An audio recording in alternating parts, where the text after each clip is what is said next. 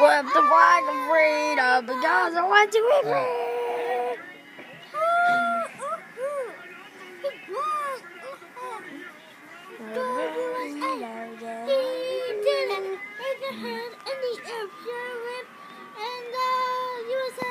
Mm.